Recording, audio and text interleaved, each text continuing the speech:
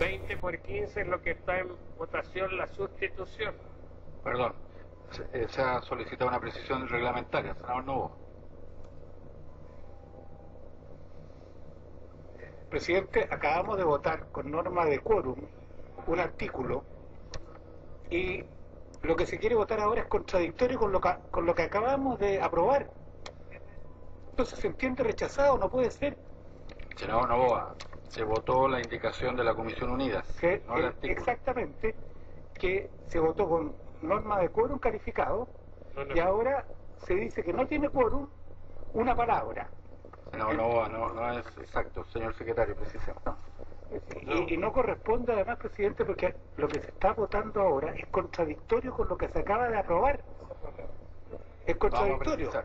Vamos a precisar. Lo que se votó como norma de quórum, señoría, fue lo que estaba en la página 4, 5, la página 5, que se refería a lo de la lo propuesto por las Comisiones Unidas en que no estuviera la expresión pelágicas pequeñas dentro de la norma. En cuanto, al- en cuanto a lo que se está ahora, yo no he dicho nunca que el 26A o el 26B sean de quórum y tampoco está dicho en los informes de las comisiones. Ah, bueno, entonces, perdón, eh, es que yo entendí que estábamos votando una norma de quórum, pero el problema, el problema es, presidente, que acabamos de apro- aprobar una norma y se nos pone en votación ahora una cosa contraria. Y eso no, no, no, no creo que corresponda, porque podemos, podemos estar hasta mañana. Fue una indicación renovada, señor senador. Pero está la es que está mesa no puede eliminar por su propia decisión las indicaciones renovadas. Senador Larrey. Presidente, el senador Novoa tiene toda la razón, porque lo dice la ley orgánica constitucional del Congreso, que la- cuando se produce una votación, todas las normas posteriores o, colindantes que sean eh, contrarias a ellas se entenderán rechazadas y por lo tanto no es necesario votarlas nuevamente. Esta indicación contiene aspectos que son contradictorios con lo que acabamos de aprobar. No podríamos, no podríamos tener, por coherencia, votaciones contradictorias. Por eso, habiéndose aprobado una disposición, las que sean contradictorias con ella se entienden rechazadas. Y espero que así la declare la mesa. Señor senador, la Secretaría hace plenamente suyo el criterio de la, de la Secretaría, en el sentido que no puede pretenderse entender como sinónimas los conceptos temporales y renovables. Una concesión puede ser temporal y no renovable, de manera, de manera que le- me permito recordarle, eh, su señoría, que hace escasos minutos hemos aprobado una indicación de la Comisión Unida que incorporó el concepto temporales. Respecto del concepto renovables, que es un concepto distinto, no ha habido pronunciamiento de la sala. Ah, presidente, presidente, Senador Larrey, en esa parte usted tiene razón, pero no fue lo que sometió a votación. Usted lo que sometió a votación era cambiar el guarismo 20 por 15. Y ese guarismo ya se votó. no, senador, Usted lo dijo así. no, senador, no. Se ha- usted se ha- lamentablemente fue un paso adelante. Cuando el senador Pizarro, que está de acuerdo con usted en el acuerdo que se suscribió, me ha preguntado cuál de las dos propuestas se vota primero, si la del concepto de renovables o la del cambio del guarismo 20 por 15, en ese momento, aludiendo a esa pregunta, yo respondí que, siguiendo el orden de la letra, podíamos votar la letra B, para proceder a votar el cambio del guarismo. No decide relación sobre los conceptos de temporales versus renovables, para que quede claro. Señor ministro. Presidente, lo que quedó, creo claro, es que lo que usted sometió a votación es el acuerdo de la comisión. Entiendo, secretario, que usted lo aclaró. El acuerdo de la comisión es el artículo 26A, que es lo que hemos votado. Y en ese artículo 26A, en la comisión hubo acuerdo para incorporar la palabra temporales y mantener la palabra renovables, que está aquí. Esto es lo que discutimos y argumentaron los señores senadores. Por lo tanto, está aprobado el 26A, Señor que fue lo ¿me que dijo usted que sometía a votación. Entonces, el concepto renovable, presidente, ya se manifestó la sala. Y ahora, tal como han dicho los señores senadores, hay una indicación que se cae por lo que ya aprobó la sala. Señor ministro, me permite que preside Sí. soy yo. Sí, lo sé. Eh, el presidente de la corporación en que interpreta el reglamento, No, sí. so- sobre la base del criterio del secretario, naturalmente. Y ha, ha sido de público eh, de pública evidencia, porque estaba acompañada en la, en la pizarra electrónica, que lo que se sometió a consideración de la sala fue la indicación de la Comisión Unidas para intercalar el término temporales entre las palabras licencias y se otorgarán. Respecto del concepto renovables, no hay aún pronunciamiento de la Pero, sala. pero por favor. Se- se- señor secretario, reglamento, reglamento, senador Pizarro. Gracias, presidente. Yo quiero, yo quiero acompañar a la mesa en este, en este impasse que se ha producido desde el punto de vista reglamentario, porque se le preguntó al señor secretario antes de votar el artículo si primero íbamos a votar la indicación renovada o el artículo. Entonces, en ese momento, quiero decirlo fraternalmente porque creo que se nos ha producido, nos estamos haciendo un problema además. En ese momento el señor secretario dijo lo que va primero es la propuesta de la comisión y después la indicación renovada. Entonces nosotros entendimos que estábamos votando primero la, eh, la propuesta de la comisión y que después tratábamos la indicación renovada. Presidente, ¿sabe por qué? Porque si no sometemos, si no lo hacemos así, nunca se podrían ver las indicaciones en su mérito. Yo quiero decir que el día de ayer en comité, pido la buena voluntad de los comités, planteamos que era necesario tener la posibilidad de discutir, aunque no estuviéramos de acuerdo con las indicaciones, aquellas indicaciones donde teníamos las diferencias, y la diferencia está en si las licencias son renovables o no renovables. Esto fue parte del debate que tuvimos. No llegamos a acuerdo en esa parte con el gobierno, nosotros lo aceptamos, pero ha sido parte de la argumentación que hemos hecho todos, por lo menos desde las bancadas de la oposición. Y nosotros hemos aceptado que esa, y yo firmé esas, esas indicaciones renovadas justamente para que se produjera el debate. Entonces yo lo que le pediría es muy sencillo, presidente, el, el debate lo hemos hecho largamente, someta la indicación a su votación y le pido a los colegas que esto nos permita avanzar, pero creo que ahí donde se produjo el malentendido, usted tiene razón. Primero entendí, yo por lo menos entendí que iba el artículo y después de todas maneras se veía la indicación. Señor senador, eh, el secretario fue sumamente claro en señalar de que lo que se sometía a votación era la indicación de la comisión, no la indicación renovada. Por eso que hemos intercalado el concepto temporales y corresponde en consecuencia ahora asumir la propuesta de votación separada que hace la indicación renovada, que tiene como propósito pronunciarse sobre si se mantiene o no se mantiene en el texto el concepto renovables. Senador Walker.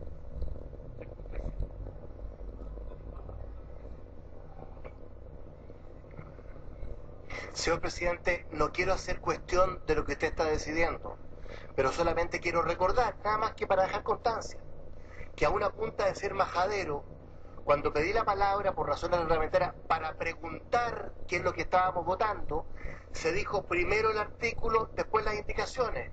Y el secretario leyó el artículo del reglamento en que decía este orden. Solamente para dejar constancia, no quiero hacer cuestión de lo que la mesa la decide, pero así fue la pregunta, esa fue la respuesta. No quiero hacer problema. Muy bien.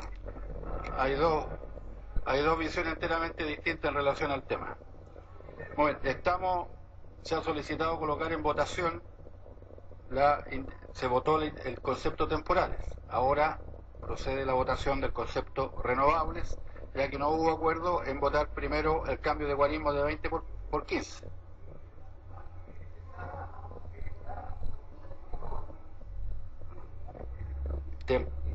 La, la votación de temporales se aprobó.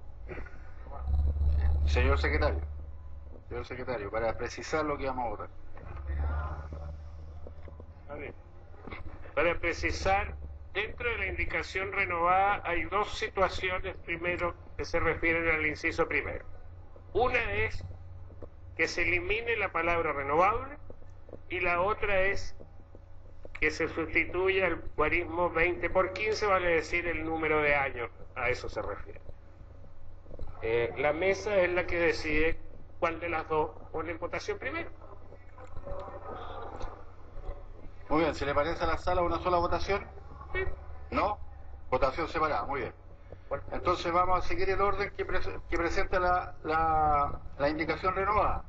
No hemos pronunciado sobre el concepto temporales, ahora hay que pronunciarse sobre el concepto renovables. Está aprobado, por eso ya nos pronunciamos sobre esto, acaba de decir. A ver, ¿dónde está la...? Renovables.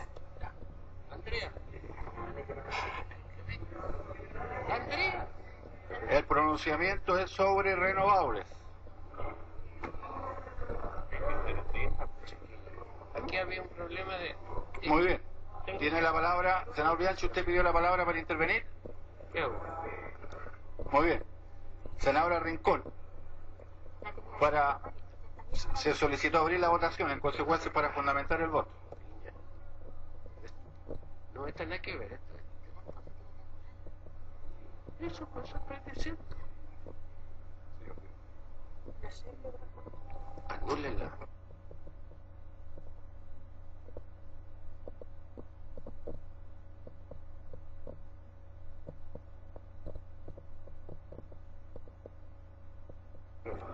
En votación entonces, si se elimina o no la palabra renovable, quienes estén de acuerdo con la eliminación deberían votar que sí, y quienes estén en desacuerdo con la eliminación votan que no, en perjuicio de las abstenciones.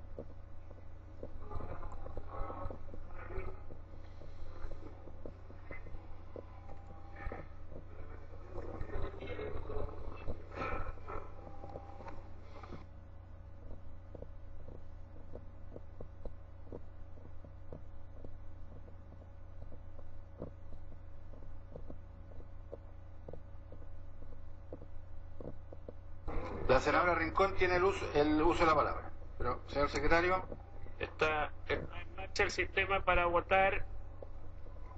Repito que quienes estén de acuerdo con que se elimine la palabra renovable, votan que sí, y quienes están en desacuerdo, vale decir quieren que se mantenga, votan que no. senadora Rincón, para hacer uso de la palabra. Casi- han votado casi todos. Gracias. Yo sé que, que a algunos les molesta que uno insista en el punto y yo le pido a, mi, a mis colegas que usemos el máximo de respeto en nuestras diferencias. Y yo quiero expresar una vez más en este Senado por qué esta indicación. Porque acordando que se puedan, que, que las licencias son temporales, que fue un tema que estaba consensuado por todos nosotros, habíamos algunos que pedíamos que se eliminara de esta parte de la discusión la palabra renovables. ¿Por qué? Porque creemos que, por esencia, estas licencias tienen que tener un acotamiento en el tiempo. Y que tal como está descrita eh, la facultad, o perdón, la figura jurídica, esta renovación automática la transformaba, como decía mi colega el senador Lagos, en algo ad eternum. Y por tanto, en el día de mañana se podría pretender alegar que el fraccionamiento futuro es algo que no puede cambiarse y que este acuerdo que hoy día se transforma en una ley será para siempre respecto de los industriales. ¿Cuál es el problema? Que si queremos, presidente, mejorar en el futuro la cuota de nuestros pescadores artesanales, con esta norma lo dejamos imposible. Por eso para nosotros, o al menos para mí, y voy a hablar solo por mí, es tan importante sacar de esta norma de la ley la palabra renovable y dejarla ubicada en otra parte de la disposición. Fue algo que pedí y es una de las razones por las cuales yo no suscribí el acuerdo. Gracias, presidente. Ha solicitado el uso de la palabra el senador Rubio Esquive. Presidente, más bien era en el momento en que estábamos discutiendo lo que se había votado. Pero yo he manifestado, y lo saben mis colegas, que yo no soy partidario de 20 años. Y por lo tanto, yo entendí que eso es lo que yo estaba votando cuando lo hice en contra en el artículo. Hubo mucha quisquillosidad y se me dijo que estaba votando al revés de los cristianos.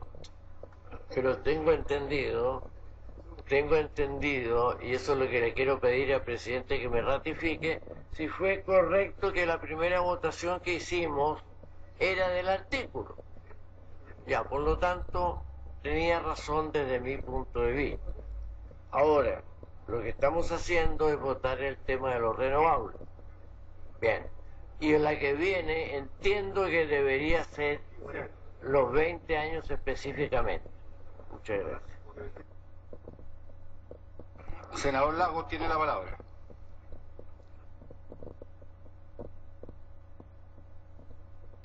Señor presidente, gracias.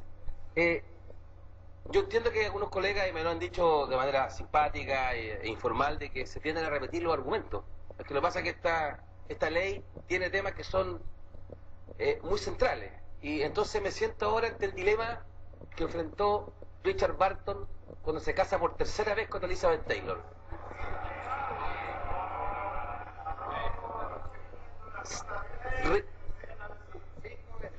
Richard, Barton se casó oficialmente tres veces con Elizabeth Taylor. Y él sabía lo que tenía que hacer esa tercera vez que se casó con ella, pero no sabía cómo hacerlo para que pareciera diferente a las dos primeras. Entonces el mismo desafío que tenemos acá, que es volver a explicar por qué el tema de la renovación, el tema de la licencia indefinida, es importante. Algo lo señaló la senadora Rincón. Acá lo que hay es que si consolidamos el renovables, no va a faltar que para interpretar que lo que se debe renovar, ¿qué es lo que es? No es la autorización de pesca porque ya es indefinida, dicen. ¿Qué es lo que es? ¿Ah? La cuota, la licencia de pesca. Y eso en consecuencia no va a faltar quien argumente qué es lo que debe mantenerse. Y eso, que, y eso hay que concadenarlo con el artículo 26b, que es muy taxativo. Dice textualmente, se asignarán, según la legislación vigente, se asignarán, no hay alternativa, no hay, no hay, no hay dos modos, salvo que se haya incurrido una causal gravísima. En consecuencia, de ahí que la propuesta de esta indicación que hemos patrocinado algunos senadores, lo que persigue es eliminar, entre otras cosas, el concepto renovable, ciertamente apoya que sean temporales, eso lo venía, y además establece una reducción en la cuota. Gracias, señor presidente. Gracias, senador Lagos. Tiene la palabra el senador Bianchi. Perdón, senador Bianchi. Es para la letra que sigue B, presidente. Muy bien. Senador Gómez. No, yo, presidente, no voy a, a re- a redundar en los argumentos porque en realidad sería reiterativo. Lo que quiero decirle a la senadora Rincón que no se representa sola, que vemos varios que votamos como ella, así que no se sienta sola, senadora. ¿Eh? Senador Gómez, aprovechando el impulso, ¿me podría reemplazar en la mesa para poder hacer uso de la palabra?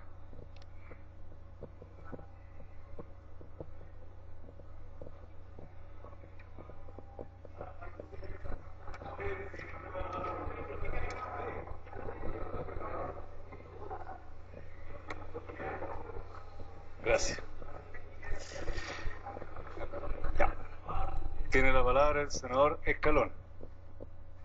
Como muchos colegas lo han hecho ya en un sentido u otro en este debate, para simplemente consignar una opinión. Lo que, lo que se está proponiendo con la indicación, independientemente que ella vaya a ser rechazada, es eh, un criterio elemental, porque las exigencias para la renovación son el simple cumplimiento de la ley, o sea, lo que se pide para que las personas o empresas, las personas jurídicas en este caso, tengan la posibilidad de tener 20 años más y luego 20 años más y luego 20 años más, es que cumplan los derechos laborales, que cumplan sus obligaciones tributarias, es decir, las obligaciones que el Estado pide a todo chilena o chilena. Es decir, es de suyo evidente que la construcción de los requisitos para conseguir la renovación de estas licencias están claramente preestablecidas. Y en consecuencia lo que aquí se configura es, del punto de vista legal, una, un traje a la medida de los controladores monopólicos de este sector productivo del país.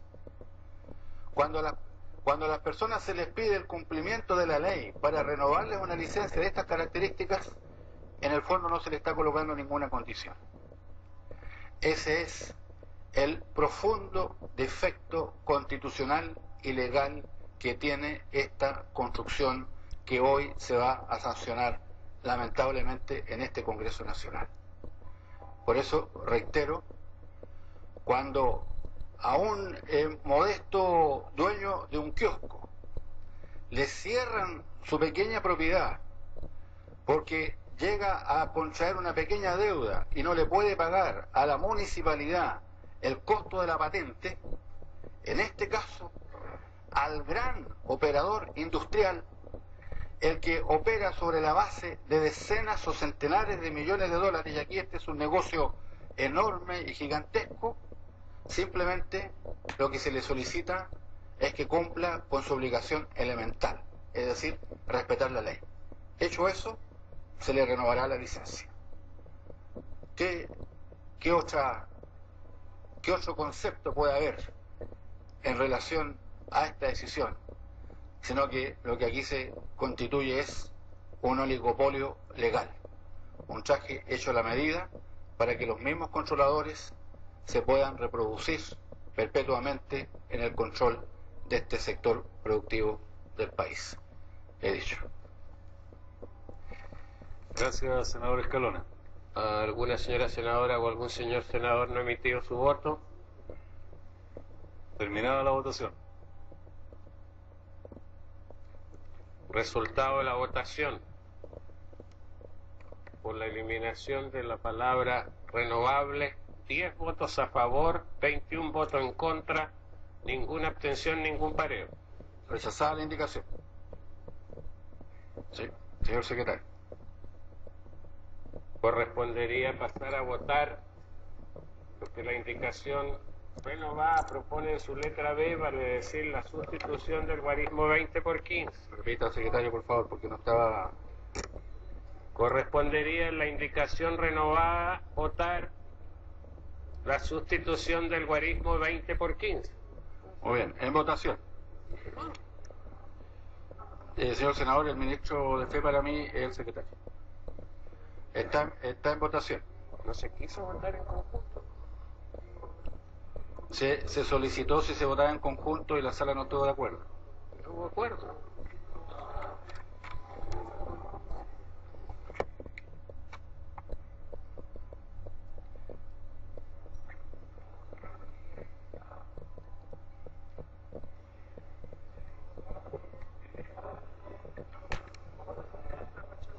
Senador Bianchi quiere hacer uso de la palabra en este punto. Gracias, presidente. Si me lo permiten los colegas, yo creo que este artículo 26A eh, de la letra B es pasar la prueba de la blancura. Y el país va a ser testigo ahora, en este momento, quienes están por los 20 años y quienes están por menos años. Y como hay varios colegas que han dicho que llegaron a un acuerdo porque no había otra alternativa, sino que los 20 años, aquí está la alternativa, 15 años. Entonces es bueno que no se vea esto como una simple votación. No. Habemos quienes hemos dicho insistentemente que lo que hemos pedido son 10 años para que se revise bien cómo ha operado la industria. Bueno, no pudimos lograr los 10 años pero podemos lograr 15 años. Entonces lo que hoy día el país va a presenciar a partir de este momento, en este acto, en esta votación, es quienes quieren que la industria tenga permiso por 20 años y por 15 años. Yo quiero por 15, presidente. Di. Hay otra indicación Senador Muñoz se ha inscrito para fundamentar el... Gracias, señor presidente. Yo creo que es bueno hacer una pequeña historia cómo entró este proyecto. Este proyecto entró con un plazo indefinido. Después, con posteriores conversaciones en el seno de la Cámara de Diputados, se transó o se habló de 25 años de plazo. Y ahora, quienes han eh, negociado este acuerdo han logrado eh, 20 años en forma eh, temporal. Nosotros estábamos eh, por 10 años, y lo he señalado en varias intervenciones, porque entendíamos que 10 años era suficiente para haber evaluado si el sistema había funcionado bien o mal. Y no cabe la menor duda de que, de que la administración pesquera ha demostrado que funcionó mal porque ya no hay pescado.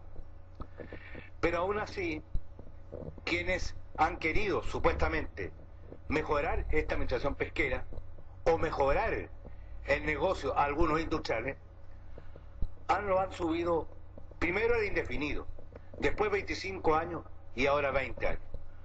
Lo único que se va a lograr con estos 20 años, como ya lo señalaba, es asegurar el negocio de unos pocos en perjuicio de la gran mayoría de chilenas y chilenos. Nosotros efectivamente estábamos por 10 años, porque creíamos que cuando se fijaron las cuotas anuales el año 2002, 10 años era un plazo más que suficiente para recuperar inversiones y para ver si el sistema había funcionado o no. Ese sistema ya, lo reitero, lo ya falló. Pero ahora nos estamos inclinando sí por 15 años. Porque si bien es cierto, 15 es más que 10, es bastante menos que 20 y es bastante menos que, que con las condiciones que ahí se han fijado. Pero la fuerza de los hechos eh, no lo ha querido así y nosotros vamos a insistir en, esta, en estos eh, 15 años porque queremos que por lo menos el país sepa que hay eh, senadores que están preocupados de los recursos de todas las chilenas y chilenos. Gracias, señor presidente. Muy bien. Eh, terminada la votación.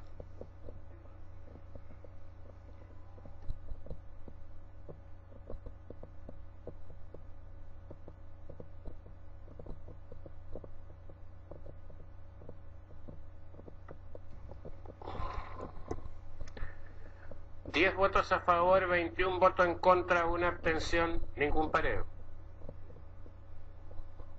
Rechazada la indicación renovada. Senador Letelier tiene más del reglamento. Eh, falta, falta todavía un- una última parte de la indicación renovada. No. Senador de Letelier pidió la palabra para que... Presidente, yo entiendo que la norma vigente es tal como viene de la Cámara de Diputados, es una donde hay permiso de pesca indefinido. Entiendo que he tenido una discrepancia, quizás es mi error con el secretario de cómo se vota. Mi duda, después de esta indicación que se va a poner en consideración que la letra C, entiendo que hay que votar el artículo en su conjunto. No, el artículo en su conjunto no se está votando. Yo le he preguntado al secretario en forma. Y quiero. Disculpe, porque le pregunté al secretario lo que él dijo que está en votación. La primera era la tercera columna del comparado. Quiero insistir en este punto. Donde ahí se estaba discutiendo si eran transitorios o renovables, digo renovables. Yo lo que no quiero en ningún caso es que sean indefinidos. En ningún caso que sea indefinido. Quiero que eso quede muy claro, porque si no se vota el artículo al final, independiente que uno comparta o no, quiero reiterar el procedimiento, porque esto no es lo que se votó en general, en la votación en general, y hay tres informes. Entonces le he preguntado al secretario en forma insistente este punto por el orden que ha votado. Nos dijo en la primera votación que se votaba la tercera columna. La segunda votación era el tema de los guarismos, los renovables, pero la tercera votación fue el de los guarismos. En algún momento hay que votar el texto en su conjunto.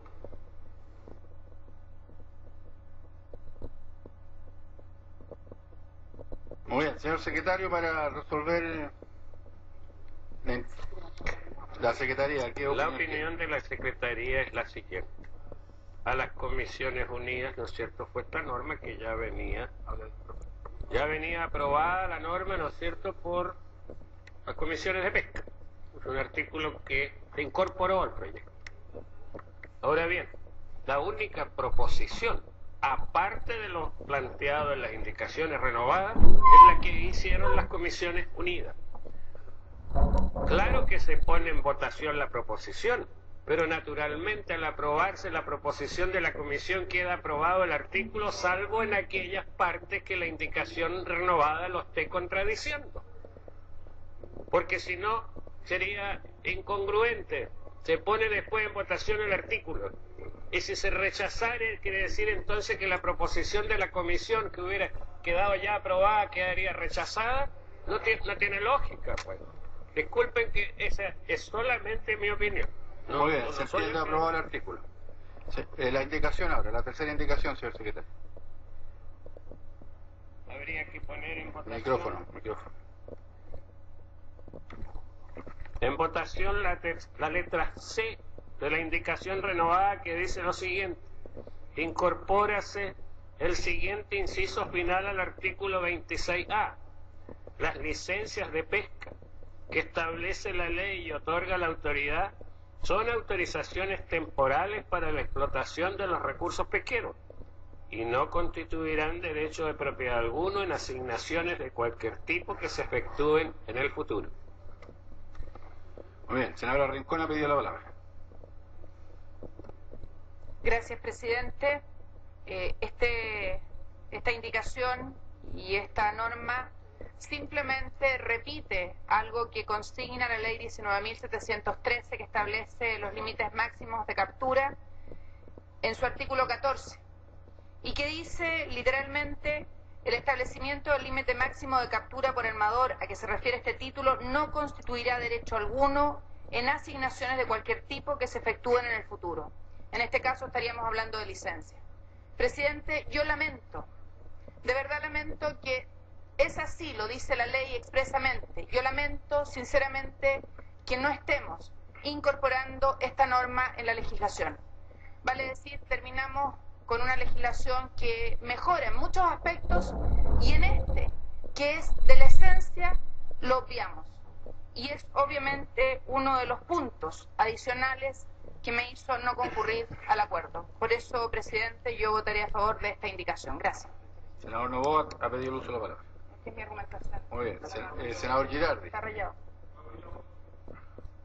¿Se ha solicitado abrir la votación? Si le parece a la sala, en votación. Senador Girardi tiene la palabra.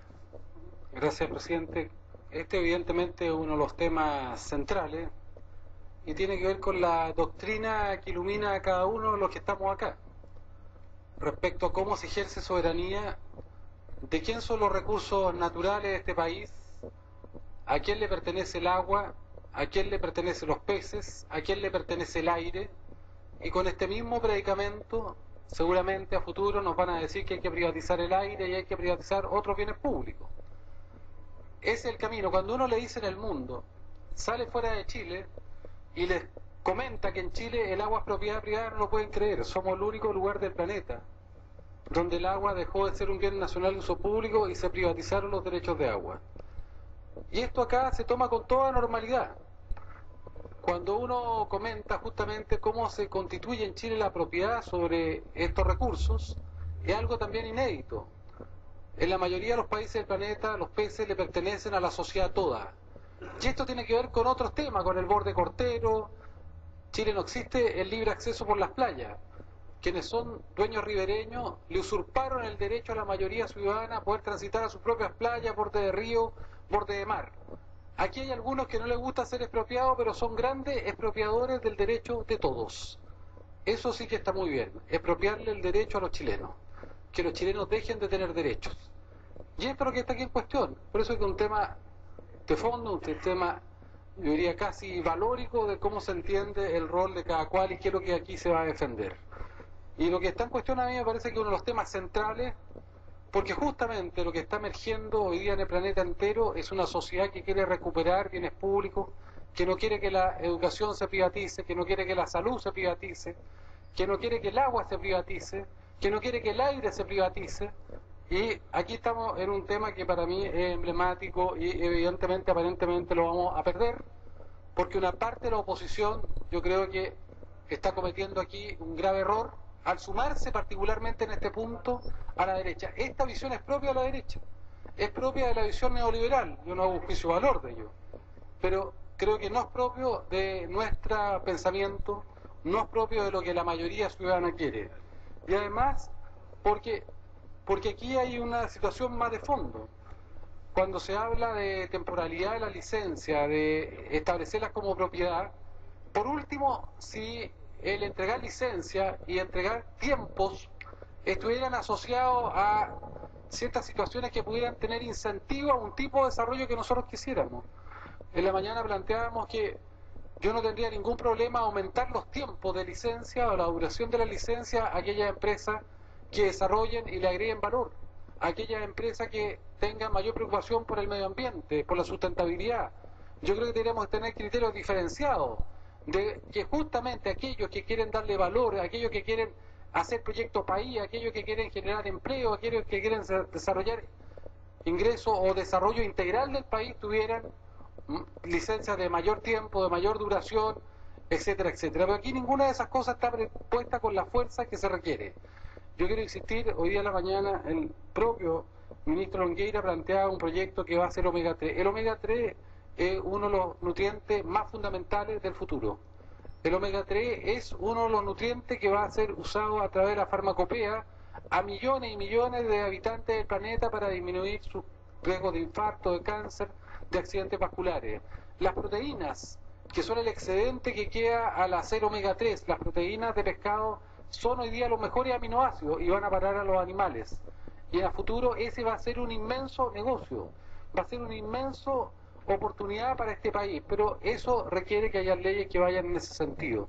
Lamentablemente acá, insisto, hay algunos que quieren expropiarle el derecho de todos los chilenos a ser codueño, a que siga haciendo esto un bien nacional de uso público y creo que esta discusión es muy relevante porque espero que algún día podamos recuperar el derecho de los chilenos a ser dueños de sus aguas como en todos los rincones del planeta, dado que ese es el recurso más escaso del futuro y que esto no permita que se siga avanzando en esta espiral porque así como ya han privatizado parte de la educación, de la salud, mañana nos van a privatizar otros bienes públicos, ya han privatizado el acceso a las playas, nos van a privatizar todos los bienes públicos que quedan para esta sociedad. Por eso que esta discusión es emblemática y por eso que yo creo que este es uno de los elementos centrales de esta discusión y voto a favor de esta indicación.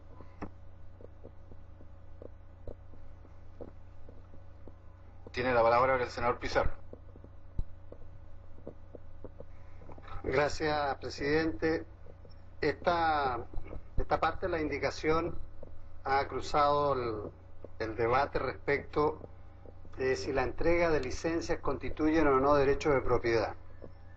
Y, y, la duda que nosotros todos hemos tenido y se ha planteado algunos con más claridad y otros no tanto, es que se pueda producir el riesgo de que se entreguen licencias por un plazo determinado y que al término de esas licencias con un plazo determinado, independiente de los años que sea, a aquellos que se le termina la licencia o se le caducan, planteen que tienen un derecho de propiedad hacia adelante, hacia el futuro.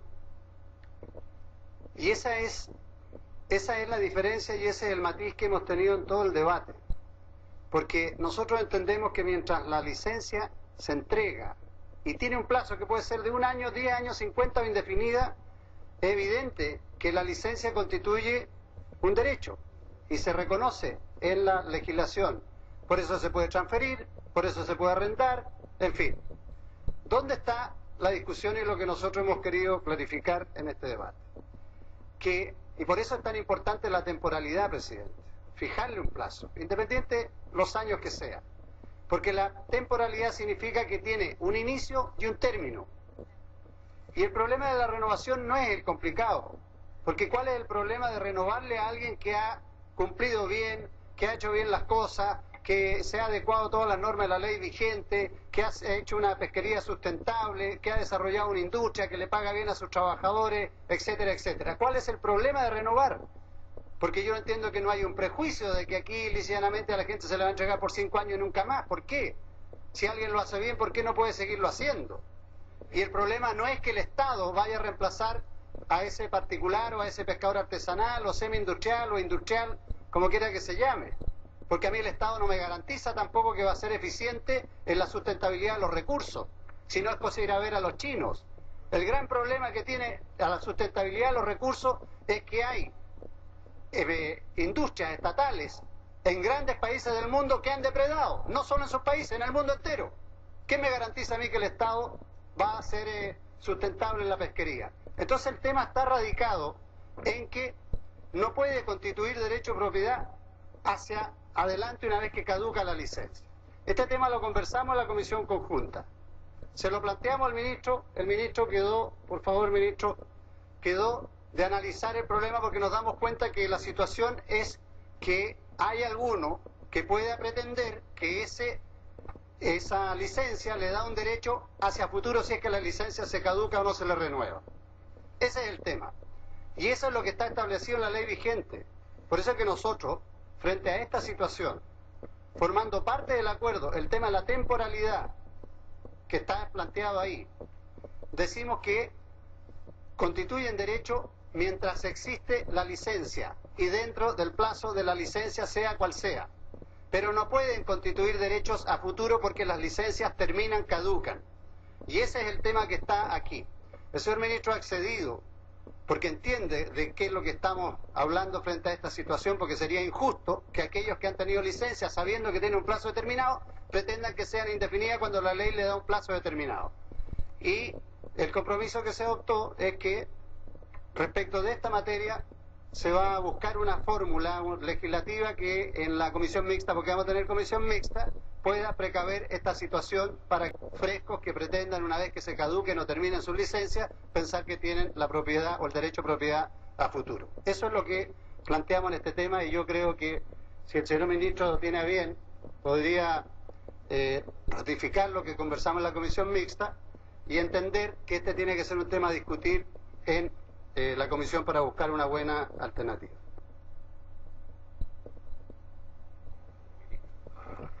Estamos en votación, estamos en votación. Senador Novoa.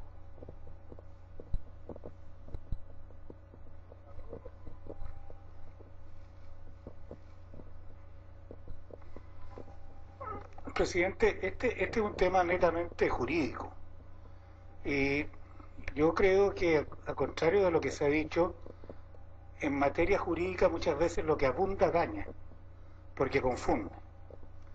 Aquí no cabe la menor duda que una licencia temporal no puede constituir derecho para asignaciones futuras. Y si uno en cada ley tuviera que poner todo lo que la ley no significa, tendríamos leyes eternas. Y se podría argumentar de que como en la ley X no se dijo que no significaba tal cosa, se puede interpretar de una manera distinta. Entonces yo sería muy cuidadoso cuando se vea este punto. Porque aquí no cabe la menor duda que el único derecho de propiedad que existe es el derecho sobre la licencia que se otorga, que es un derecho de propiedad. Pero ¿qué es lo que uno es dueño? ¿De qué es lo que es dueño? De una licencia que será por 10, 15 o 20 años con tales características. No es dueño de nada más que eso. Entonces, especificar que eso no significa que sea derecho de propiedad respecto de asignaciones futuras. Tampoco es derecho de propiedad respecto a las cuotas que se den. Habría que ponerlo. Tampoco es derecho de propiedad respecto de otras especies. Habría que ponerlo. Tampoco es derecho de propiedad respecto de derechos que tengan terceros. Habría que ponerlo. Entonces, lo que abunda daña. La realidad es que yo creo que está muy claro en la ley que las licencias son temporales, que la licencia es un derecho que tiene la persona para ejercer una actividad, no es propietario de los peces, es propietario de una licencia. Y la licencia solo le da autorización para pescar la cuota que año a año o cada dos años le fije la autoridad. Desde ese punto de vista yo preferiría que esta norma no se aprobara sin perjuicio del compromiso de que en la mixta se busque una, una redacción, pero yo sugiero que no pongamos en las leyes lo que las cosas no significan, porque tendríamos que entrar en enumeraciones eternas y cada vez que no pongamos lo que no signifique, alguien va a decir, ah, entonces yo puedo hacer esto, porque no dice que no significa. Gracias, presidente. Hace uso la palabra el senador Frey. Señor presidente, no es atingente al proyecto, pero ya este asunto del agua me tiene un poquito hasta no sé dónde. Resulta que en cuatro días que llevamos, parece que las cámaras, las luces, nos hacen decir muchas cosas.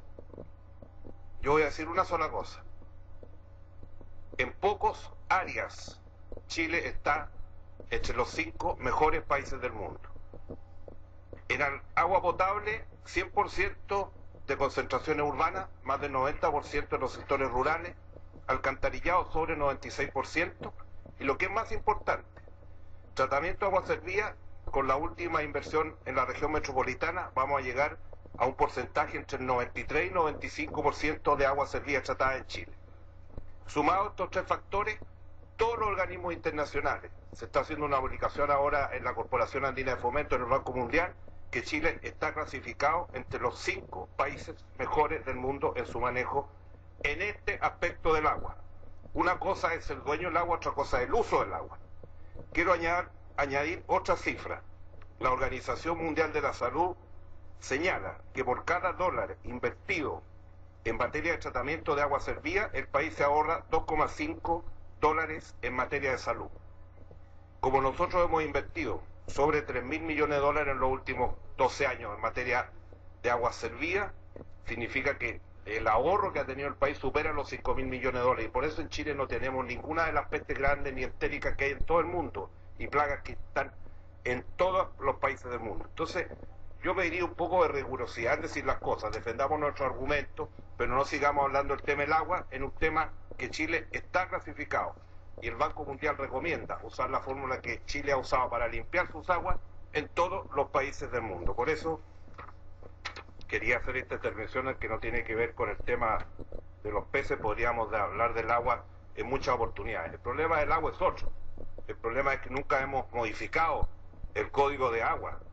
Eso sí que tenemos que hacerlo y por eso tenemos los problemas en el norte y en otros porque tenemos que hacer manejo de cuencas, como han dicho todos los expertos nacionales e internacionales. Pero decir que en materia de agua este país no ha avanzado, creo que es un profundo error y es desconocer lo que está a la vista de todo el mundo. Gracias, presidente. Corresponde el uso de la palabra al senador Gómez.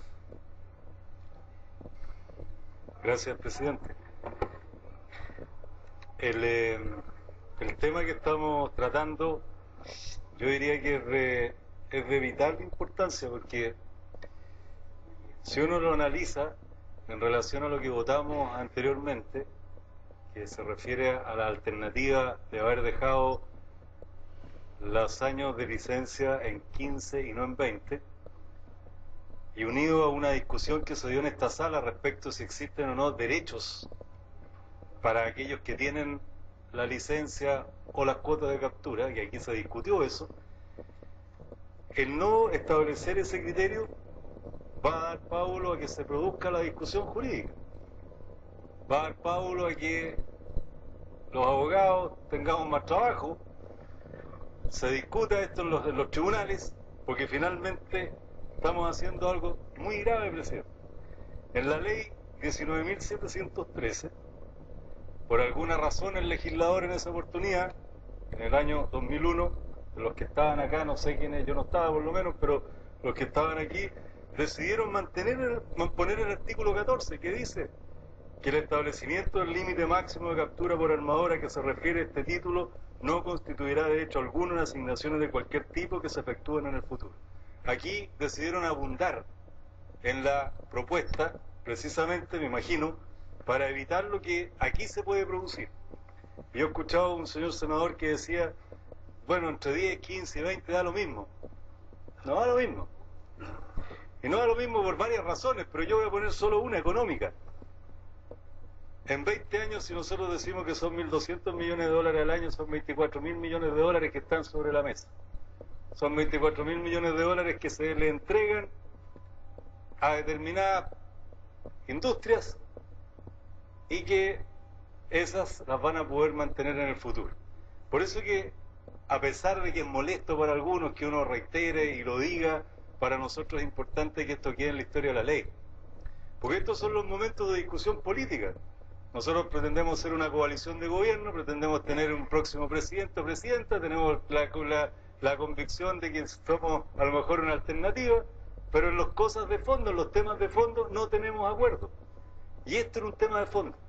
Este era un tema en que nosotros teníamos que mostrarle al país que teníamos la convicción de que sobre esta materia íbamos a hacer un esfuerzo porque la ley de pesca fuera considerada, los artículos y sus condiciones, una materia en la cual esta coalición tenía acuerdo político. Y no lo tenemos. Una parte de la coalición, la democracia cristiana, tomó la decisión de acordar con el gobierno y llegar a acuerdos que lo que hacen, en nuestra opinión, es permitir lo que exactamente, por lo menos desde nuestra perspectiva, no es correcto. Entonces, yo quisiera señalar que es importante dejar claro en la ley lo que aquí dice la letra C y es incorporar al inciso final del artículo 26 que las licencias de pesca que establece la ley y otorga la autoridad son autorizaciones temporales para la explotación de los recursos pesqueros y no constituirán derecho de propiedad alguno en asignaciones de cualquier tipo que se efectúen en el futuro. ¿Por qué? Porque le estamos entregando 24 mil millones de dólares, porque además le estamos rebajando los impuestos, pues cuando lleguemos a discutir que hoy día pagan 30 millones de dólares, lo más probable es que con la fórmula que está planteada van a tener menos pagos de impuestos, porque les estamos permitiendo mantener las cuotas, estamos permitiendo mantener absolutamente todo. Entonces a mí me parece que en estos temas son los que nosotros tenemos que manifestar nuestras diferencias, nuestras opiniones y decirle con claridad y honestidad. En esta coalición, en estas circunstancias, no tenemos ninguna posibilidad de tener acuerdo político y así queda demostrado en esta votación. Pudiendo haber sido uno de los elementos centrales de diferenciación de lo que es el futuro en estas materias, no fuimos capaces. Y el gobierno logró acuerdo y logró y va a lograr sacar adelante la primera ley que va a lograr el ministro Longueira, que no logró durante 20 años, mientras fue senador, como es correcto, porque los senadores valen bastante poco, si no tienen la posibilidad del patrocinio del gobierno, y logró llegar al gobierno, logró ser ministro y va a sacar su ley.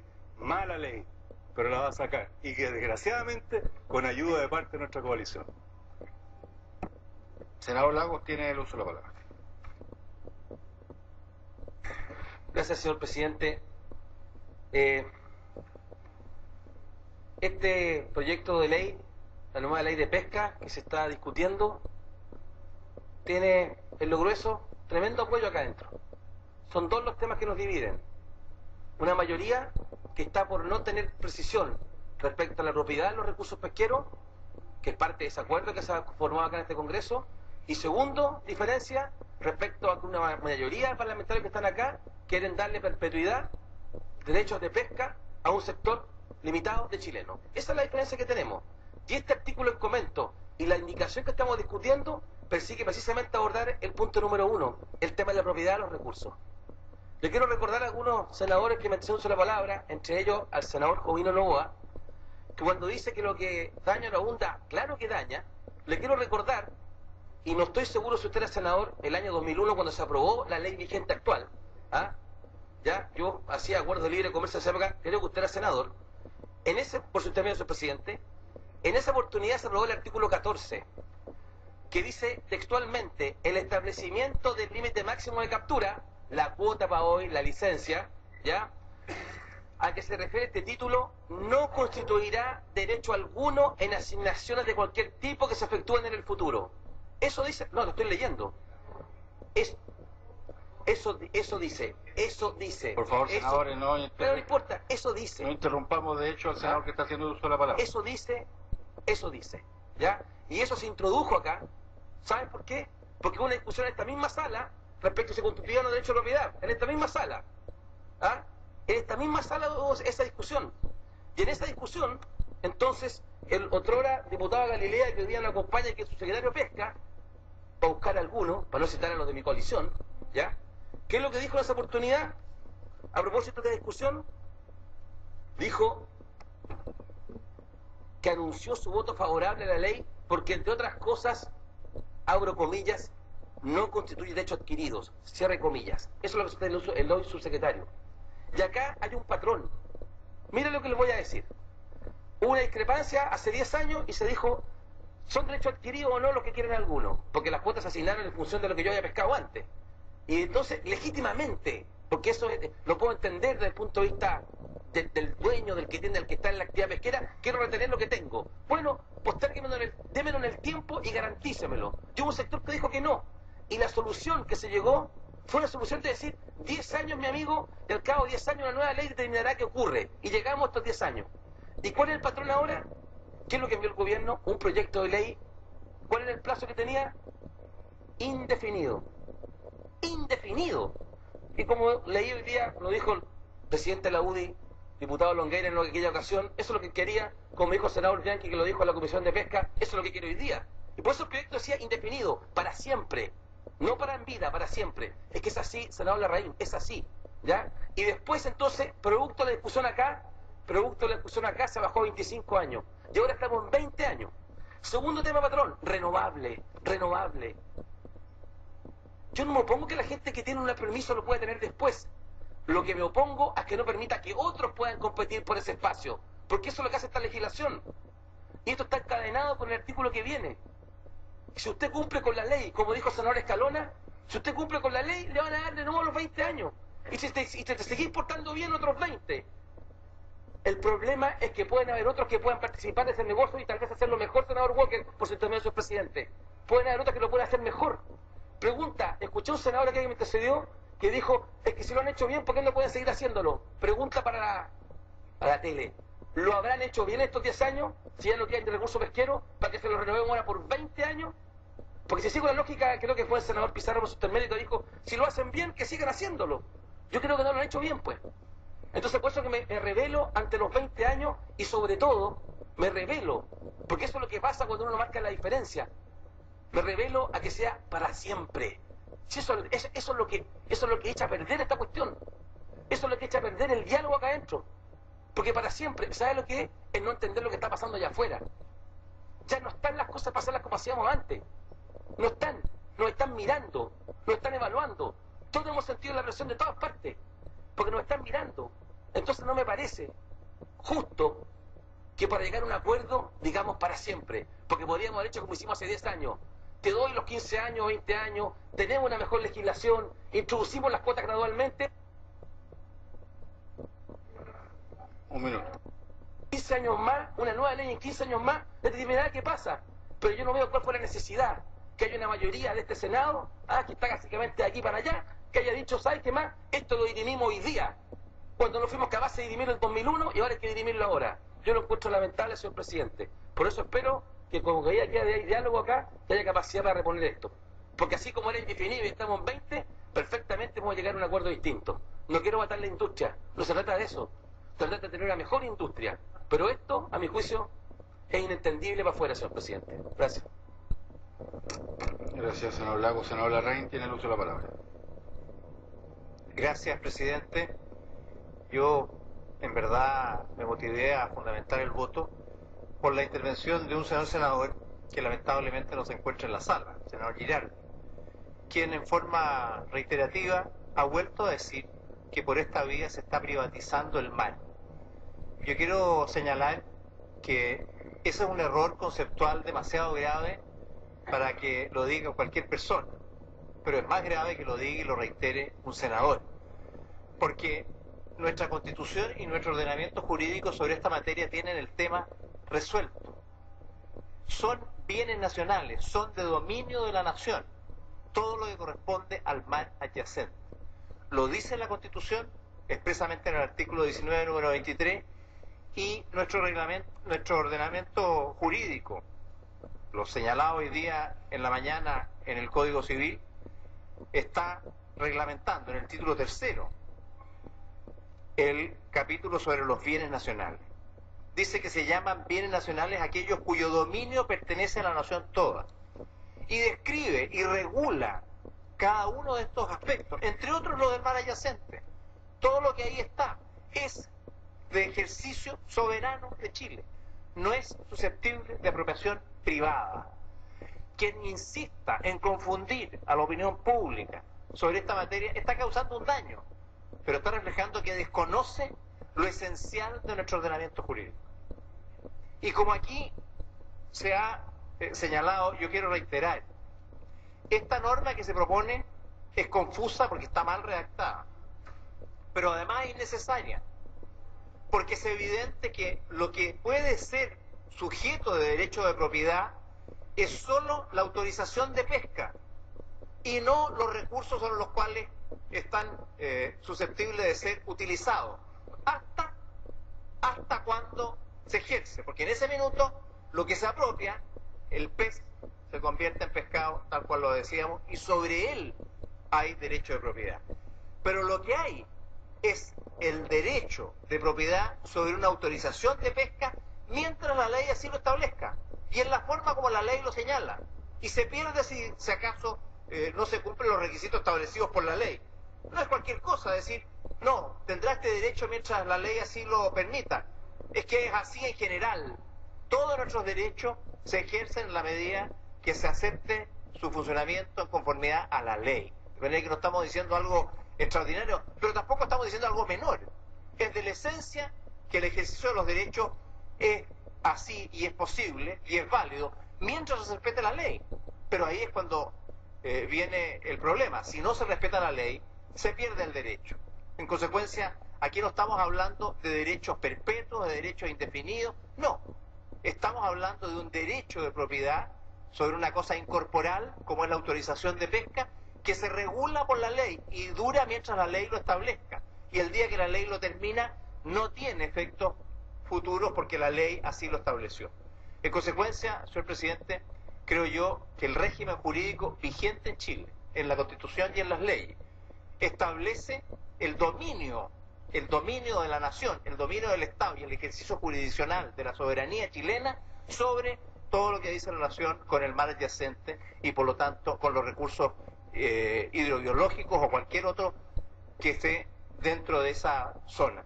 Y por lo tanto no es necesario reiterarlo, es una majadería y es, conduce errores porque precisamente entramos a hacerlo de una manera débil, que no ayuda a la precisión de los derechos que el Estado de Chile tiene, en este caso sobre el mar adyacente.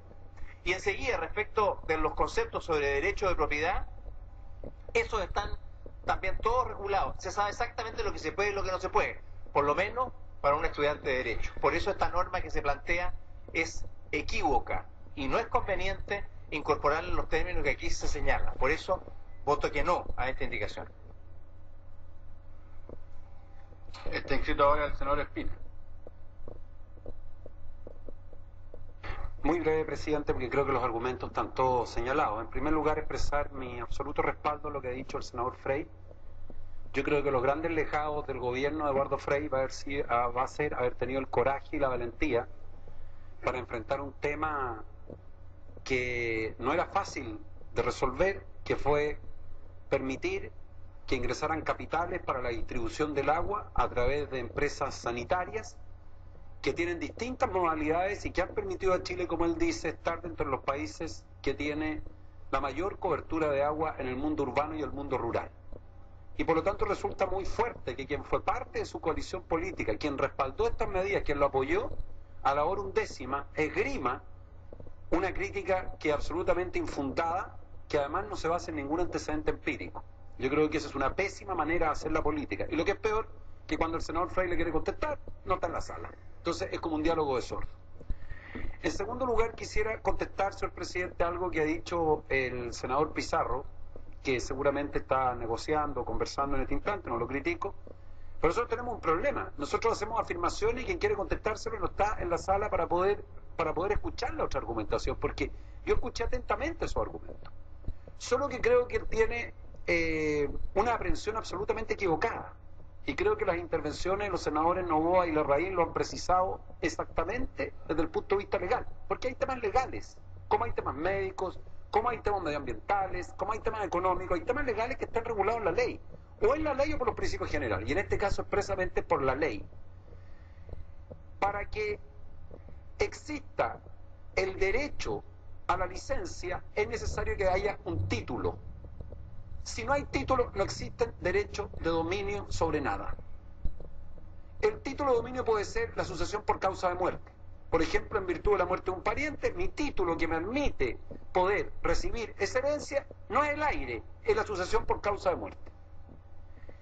Si hay, en, como me dice el senador Procuriza, y hay modos de adquirir que son aquellos que otorgan el título para adquirir algo. La tradición es otro título.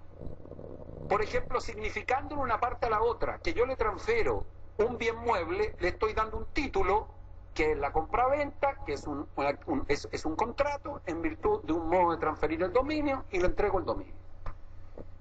La prescripción, el transcurso del tiempo me permite adquirir bienes o perder bienes. En el caso de la licencia no cabe duda alguna, duda alguna desde el punto de vista jurídico. Y es un principio general del derecho, que no requiere artículo alguno, que si una persona no tiene licencia, no tiene dominio sobre la cuota que le permite esa licencia sacar de peces, para ponerlo en castellano. Se acaba la licencia, se acabó el dominio que tenía sobre esa licencia, se acabó, porque no tiene título. Y en ningún tribunal del mundo, del mundo occidental en que existe un Estado de Derecho, le van a poder decir, mire, usted sigue siendo dueño de una cuota y fíjese que no tiene título. Pero ¿cómo le van a ser dueño de qué? Pero es que yo te- tuve una licencia, pero el señor no la tiene ahora. ¿Cómo va a pretender tener dominio sobre una licencia que se acabó? Por lo tanto, el tema está absolutamente resuelto. Pero esta norma, además, a mi juicio, no solo es innecesaria, sino que contiene un profundo error. Porque lo que esa norma señala, señor presidente, en su segunda parte, dice, y no constituirán derecho de propiedad alguna en asignaciones de cualquier tipo que se efectúen en el futuro. Y yo quiero preguntar si una persona tiene hoy día una licencia y le compra, porque son transferibles, parte de la licencia a otra, que es una nueva licencia. Lo que le están diciendo, que por comprarla no va a tener nunca en esa compra de licencia título para poder adquirirla y tener garantías que la va a poder utilizar regularmente. Y por lo tanto lo que se está haciendo es matando con esa indicación definitivamente que las licencias pueden transferirse. Gran favor a las grandes empresas que tienen la mayoría de las licencias. Esta norma las grandes empresas la van a aplaudir todas. Porque lo que está diciendo es que si ellos, el día de mañana alguien quiere comprarles una licencia, ellos no van a poder hacerlo. Una licencia transferible. Porque ¿quién va a comprar una licencia cuando le dicen que las futuras licencias que se compren, si tenía una más pequeña o quiera agrandar su cuota, porque la licencia no es pequeña, la cuota que le otorga esa licencia, le están diciendo que no la va a poder vender. Entonces, esa norma, señor presidente, produce, si me dan 30 segundos más, produce, señor presidente, un daño enorme. ¿Cómo no nos damos cuenta? Aquí hay miembros de la Comisión de Constitución que podemos tener diferencias, pero yo aseguro que ustedes le consultan a los miembros de la Comisión de Constitución, no digo porque sepan más que otros, en los problemas de salud, a los miembros de la Comisión de Salud, que tienen mucho más experiencia y más conocimiento probablemente que muchos de nosotros. No creo que exista un miembro de nuestra comisión que tenga una tesis distinta respecto a la interpretación jurídica que yo acabo de señalar, porque no es mía, es una interpretación del derecho transversal en la doctrina y por lo tanto esta norma debe votarse en contra porque favorece a las grandes empresas, perjudica las transferencias y perjudica fundamentalmente a los trabajadores de esas empresas que quieran comprar nuevos derechos para ir creciendo a poco. Por eso voto en contra de esta disposición. Corresponde el uso de la palabra al senador Walker. Don Ignacio.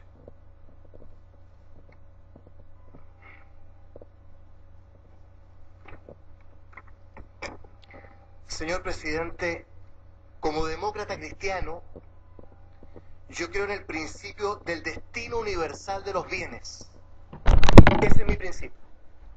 Ese es el principio rector que guía nuestra acción como partido desde hace 70 años en materia de los bienes. Es decir, que los bienes nos han sido dados para todos y no para unos pocos. Ese es el principio rector de la tradición católica en materia de los bienes. ¿Y cómo se explica la propiedad privada? Perdón que tenga que hacer esta digresión para el argumento que voy a mencionar.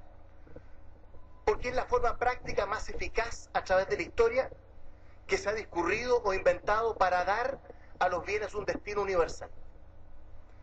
Tomás de Aquino, invocando la razón práctica y no la razón filosófica, decía que uno cuida más aquello que le pertenece. Ese es el fundamento de la propiedad privada. Pero siempre grabada por un fin social, por una hipoteca social, porque el principio es el destino universal de los bienes. Aterricemos en esta discusión legislativa, que está interesante, lenta, tediosa, pero interesante. Fíjense que, ¿cómo resuelve nuestro orden constitucional este tema? Esta aparente contradicción entre, por un lado, el destino universal de los bienes y, por otro lado, la propiedad privada y el rol del mundo privado, del negocio privado, el negocio jurídico privado, como aquí se ha dicho. Vayamos bien. ¿Cuál es la definición más drástica de la Constitución? Lejos. La- las minas. Establece la Constitución que el Estado tiene el dominio absoluto, exclusivo, inalienable, imprescriptible de las minas. El Estado es dueño de las minas. ¿Y cómo resuelve en forma práctica el Estado de Chile el tema del desarrollo minero? La concesión minera. O sea, no es incompatible que el Estado sea dueño de las minas con que haya una concesión al sector privado para que explote la minería. Sin perjuicio que, por supuesto, el Estado a través de Codelco, una reforma constitucional, nacionalización, la unanimidad del Parlamento, en ese caso de la gran minoría de cobre, reserva directamente. Así resuelve el tema de la minería. Segundo ejemplo, me alegro de lo que ha dicho el expresidente Eduardo Frei, porque tomó una decisión histórica. ¿Qué más propio del dominio público, bien nacional de su público, que las aguas? ¿Y qué hizo el presidente Frei con lucidez y visión de estadista? Fortaleció el régimen de concesión. Las sanitarias no son dueñas de las aguas. Tienen una concesión. Y él ha dado las cifras en los tres órdenes. Chile ahí sí que tiene récord mundial. En cobertura de agua potable, de alcantarillado y de tratamiento de las aguas servidas. Uno ve las cifras de los últimos 15 años desde esa ley histórica del presidente Frey y hemos tenido un desarrollo espectacular con gran protagonismo del sector privado. Y las aguas son bien nacional de su público, sin prejuicio que hay que fortalecer ese estatuto jurídico. Tercero, televisión. Pero por favor, televisión, hay concesionarias y radio. ¿Cuál es el periodo, el plazo de concesión de los canales de televisión? 20 años. ¿De qué forma? Renovables. Pero si lo acabamos de aprobar. Eh, renovables. Cumpliendo ciertos requisitos. Cumpliendo ciertos requisitos. No estamos inventando la rueda en este proyecto. Las radios, ya lo dije. eh, Lo, lo- lo sumo, senador Orpi me sopla la radio también. Quinto ejemplo, la infraestructura. Siempre fue del dominio público la infraestructura en Chile. Ministerio de Obras Públicas, desde Manuel Monte en adelante. Y así como el presidente Frey innovó en materia de aguas, el presidente Elwin innovó en materia de infraestructura. Con su ministro de Obras Públicas, Carlos Hurtado, las concesiones. ¿Y cómo se ha desarrollado el país? Yo siempre hablo, perdónenme, de las carreteras de la concertación. Bueno, un poquito de chauvinismo. Pero inventamos un sistema de concesión para invitar al sector privado, construya puentes, caminos, puertos, aeropuertos. ¿Con qué objeto? Para que el Estado designe y destine sus recursos a educación, a salud, a vivienda, a previsión. Magnífico. ¿Está jurando el Estado de su rol como garante del bien común? No. Un minuto, senador. Es que entendemos que está este principio. Y lo mismo ocurre en la pesca, pues. Lo mismo, la misma lógica de estos 20 años de la concertación. Coalición de centro-izquierda, en la que yo me honro formar parte. Artículo primero, soberanía del Estado, jurisdicción del Estado. El Estado regula y administra la exploración y la explotación. ¿Y cómo lo hace? Invitando en forma práctica a participar al sector privado. Discutiremos cuánto de cuota, ¿no es cierto?, cuánto de licitación, todo eso es discutible, los plazos, pero el sistema chileno, minería, agua, televisión, radio, infraestructura, pesca, está construido de esa manera. Y por lo tanto no hay ninguna contradicción en lo que estamos haciendo en relación a lo que es la doctrina constitucional de nuestro país. He dicho. Sí, no hay más inscritos. Señor secretario. ¿Alguna señora senadora o algún señor senador no emitió su voto? Terminada votación. ¿Terminada? Terminada la votación. Ahí está. Resultado de la votación. Por la indicación renovada en su letra C, 13 votos a favor, 17 votos en contra, ninguna abstención, ningún pareo. Rechazada la indicación. Vamos avanzando, pero quedamos donde mismo. Ah, hay dos solicitudes de reglamentaria, senador Muñoz y senador Gómez. Más bien vamos para allá, pero senador Muñoz y luego Sí. el senador Gómez. Gracias, señor presidente. Yo quiero consultar a la mesa lo siguiente. Eh, hoy día en la mañana en las Comisiones Unidas se decla- declaró una indicación al artículo 26, e inadmisible, al artículo 26A, que establece límite a la concentración de la industria pesquera. Yo quiero que la admisibilidad o inadmisibilidad se vea acá en la sala. Porque tengo argumentos para argumentar en favor de la admisibilidad. No me cabe duda que sus argumentos serán sólidos, poderosos. Pero mientras la Secretaría busca la información, le solicitaría al, al senador Gómez, discúlpeme senador Gómez, pero que interrumpa su conversación con los senadores, pero como usted me deja hacer uso de la palabra, me veo la obligación de pedir que, intervenga. No, se arrepintió. Siguiendo con las intervenciones que se han hecho, podríamos decir que de lo arrepentido el mundo lo cierra. Eh, muy bien, respecto entonces a la consulta del senador Muñoz. Se está revisando. En que eso, senador Muñoz, eso está en el, en el sector que estamos tratando o más adelante. Así lo trató la comisión. Eh, la indicación a que se refiere el senador Muñoz Muy bien, señor secretario.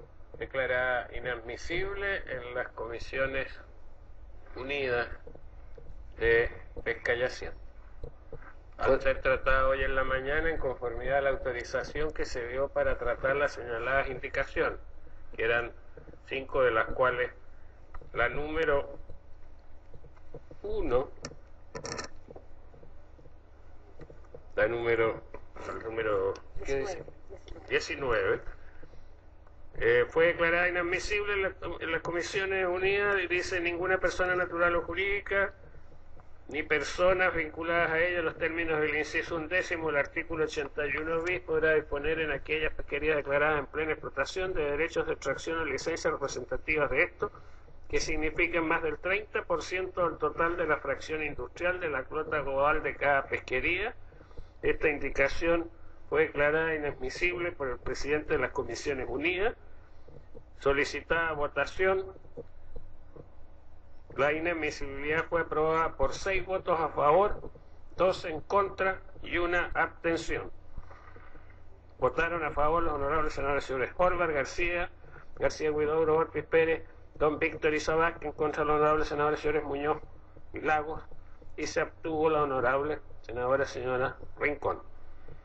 Se puede, entonces, el senador Muñoz puede solicitar el pronunciamiento de la sala. Señor secretario, usted quiere solicitar pronunciamiento de la sala, pero antes me había solicitado un tema de reglamento el senador Pizarro, si me permite, senador Muñoz. Presidente, lo que pasa es que nosotros eh, te- teníamos eh, establecido un plazo para presentar indicaciones hasta las 6 de la tarde para la ley de presupuesto en las partidas que usted estableció. Están eh, funcionando en, eh, en conversaciones con, eh, con el Ejecutivo para los efectos de ver si se puede avanzar hacia algunos puntos de acuerdo y establecer un mecanismo de votación. Entonces lo que nos han solicitado es si se puede ampliar el plazo hasta las 9, porque estamos citados hasta las 9 mientras seguimos despachando el proyecto de ley de pesca. Y esa es la solicitud que quería hacer a la sala. ¿Se le parece a la sala? Se aprueba.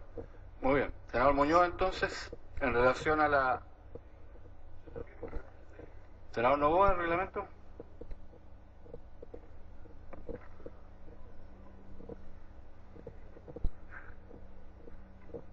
Presidente, quería, no, el, el punto es para poder saber cuál es la indicación, eh, la pusieron en eh, esa que está ahora ahí. ¿Y qué pasa? Esa no es la indicación con... Eh, Puede declarar inadmisible. Sí, pero sería bueno, eh, dicen que, que está incompleta ahí. Si, si pudiera sacar una... eh, Muy bien, vamos a solicitar, copia, ¿sí? vamos a solicitar copia de la... Eh, lo que pasa es lo siguiente. Es una hoja entera.